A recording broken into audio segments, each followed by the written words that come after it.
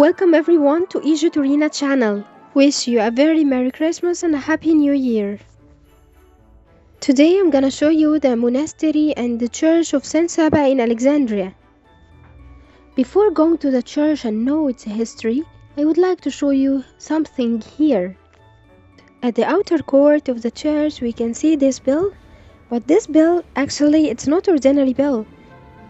It's one of the heaviest bell in the world and the heaviest bell in Egypt.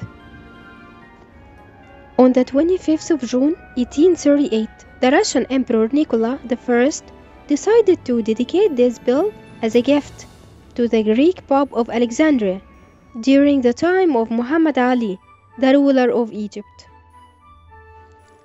Its weight about 3 tons.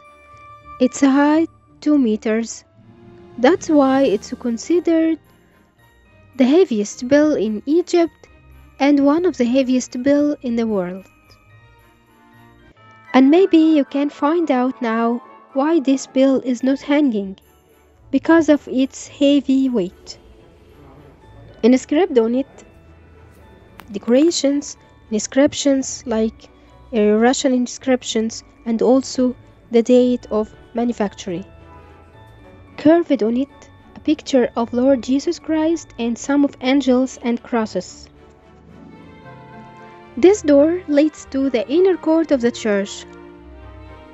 Above it there is a marble stone, inscribed on it the date of renovation of the church in 1970 and it's rebuilt with the original foundation stone from the expenses of Greek Orthodox Patriarchate of Alexandria.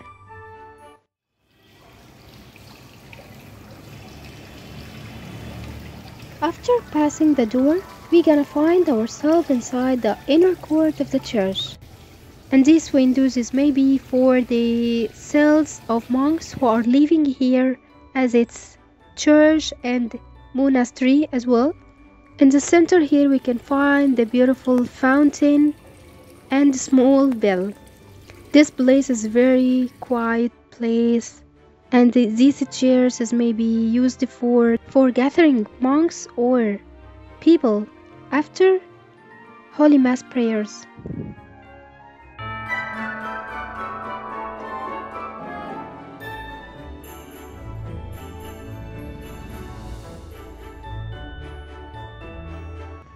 About 2 meters from the street levels, we can find the interior of the church.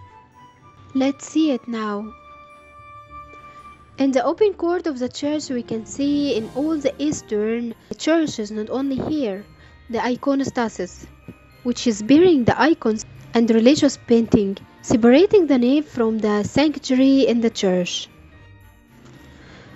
There are about three doors. Behind these doors, there is a curtain. Behind the curtain, placed here the altar for making the Holy Mass and offerings almost every day, but mainly on Sunday. The wall of the nave is decorated with very beautiful paintings and uh, very beautiful colors. The painting here bearing the picture of Saint Mary with angels and the twelve disciples of Jesus Christ.